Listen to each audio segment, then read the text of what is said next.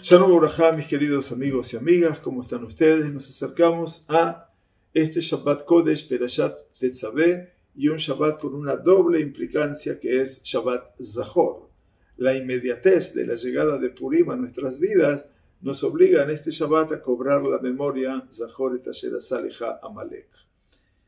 Hacia el comienzo de Perashat Tetzaveh, Hashem instruye a Moshe Rabenu para que convoque a hábiles artesanos para hacer los bigde una, los ropajes de la una, las prendas especiales que usan los Kohanim. Hashem le dice a Moshe, y ellos, los artesanos, tomarán el oro, beta tejelet, beta argamán, y los tintes azul, celeste, violáceo y púrpura. La Torah no aclara de quién debe tomar los artesanos, entre quién de ellos, las materias primas con las que producir las vestiduras sacerdotales.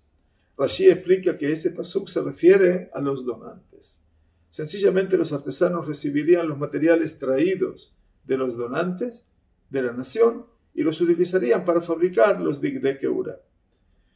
El Hizekuni, Rabbi Hizkiah y Rabenu Yosef Bechor Shor también siguen este enfoque y agregan que esto tiene la intención específica de enfatizar que los Bigde Keuna, los ropajes sacerdotales, como todo lo demás asociado con el Mishkan, se hizo con donaciones de la gente.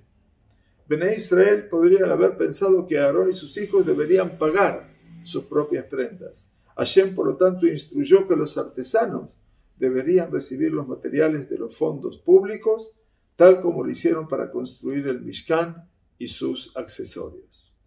Rabbi Yaakov Mecklenberg, en su Aketav Kabbalah, afirma que el Targum Yonatan Jonathan Benuziel, que es un midrash posterior, siglo IV aproximadamente, leyó este versículo de manera diferente. El Targum Jonathan traduce este pasú como y tomarán de su dinero el oro.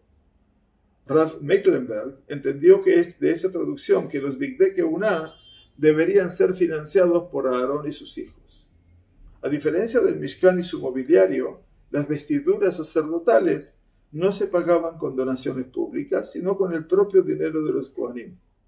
El comentario de Ahabat Yonatan a Targum Yonatan, como se cita en Torah Shelema, rechazó esta lectura y afirmó que según el Targum Yonatan también los materiales para las ropas sacerdotales provenían del tesoro público, y esta es de hecho la opinión ampliamente aceptada. Rabbi Levi Yitzhak de Berdichev, en su Ketushat Levi, Sanegorán de Israel, el defensor a ultranza del pueblo judío, señala la importancia del hecho de que los Kohanim usaran lujosas prendas donadas por los Bene Israel. Esto aseguró, dice el rabino de Berdichev, que los Kohanim sintieran un sentido de gratitud y respeto hacia las personas que representan mientras trabajan en el Mishkan. Como debemos entender, obviamente, el Kohen Gadol aborda su trabajo con la mentalidad como si fuera un emisario, un, un shaliach, nada más, como representante del pueblo, y no como alguien que se ennoblece o se ensorbebece sobre el pueblo. Su trabajo beneficiaba a toda la nación, dice el Verdiche Berrebe, y debían cumplir con sus deberes pensando que en todas las personas. Y eso es muy bonito.